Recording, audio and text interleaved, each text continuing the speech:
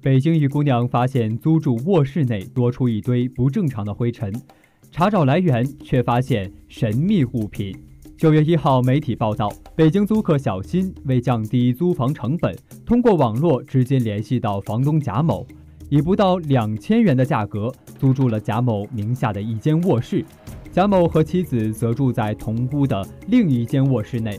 二零一九年四月，小新发现卧室插座正下方突然出现了一堆灰尘，仔细观察后，发现插座内隐藏了一个微型摄像头。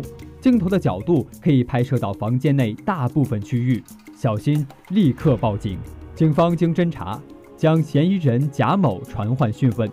贾某承认通过备用钥匙进入小新房间，卸下固定插座的外壳，将微型摄像头藏在插座内。此前，他曾将摄像头安装在厕所的镜子背后，但未拍摄到他想要的画面，于是便想办法进入了卧室。摄像头刚装好的第二天就被小新发觉，尚未拍摄到过于私密的画面。贾某无故进入小新房间的行为已经构成非法侵入住宅罪，丰台法院判处其拘役三个月。新京报动新闻综合整理报道。